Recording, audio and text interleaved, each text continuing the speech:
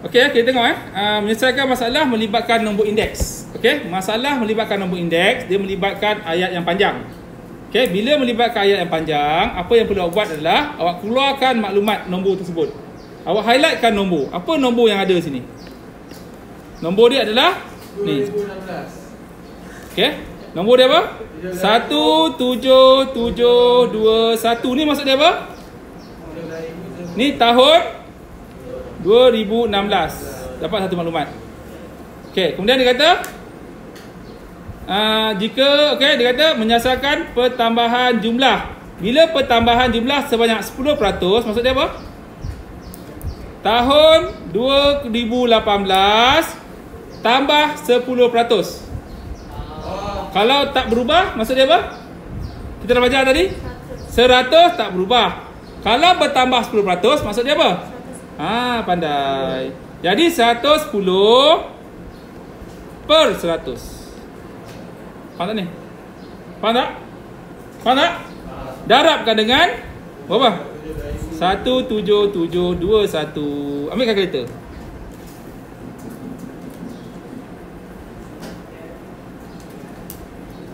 Kalkulator pun tak ada, tak payah tolong. Kalkulator lah, semua kena ada kalkulator. Dapat apa? 19,493 Faham tak ni? Ha ni eh. Di sini lah 19,493 Okey baca lagi soalan dia kata apa Hitung jangkaan bilangan pelawat pada tahun 2020 Dia nak tahun 2020 pula. Tahun 2020 Apa dia? Sekiranya kadar pertambahan pelawat 2018 ke 2020 adalah sama. Sama maksud dia apa? Oh, tambah tambah tambah. 110 pandai pun. Ha, Pandai sebenarnya Bagi 100 Darab apa? 19493 Berapa jawapan? Tolong saya kira apa-apa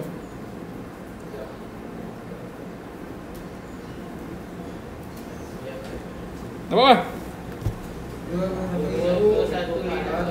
21,440 Dah siap. Dah lah Okay, barulah kau nak baca Kau baca lah soalan tu Bodoh kan Faham tak ni? Boleh? Boleh tak boleh? Okay Senang kan?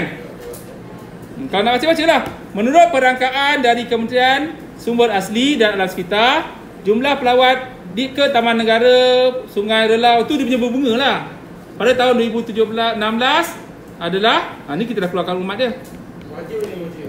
Kan nak baca baca lah Tapi kalau baca pun tak faham apa Harus tak. Okey Jika Tapi selalu baca lah okay? Baca dulu Jika Perwakilan Taman Negara menyasarkan pertambahan Kau pertambahan maksud dia Apa?